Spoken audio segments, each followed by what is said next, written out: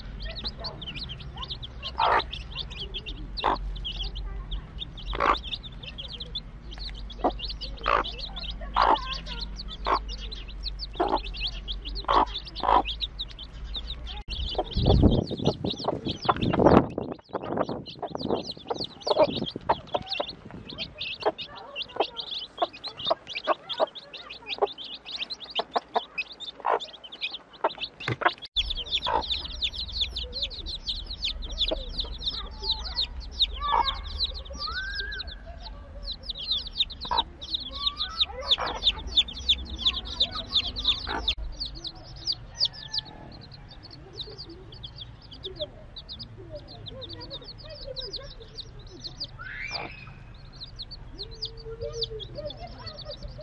you.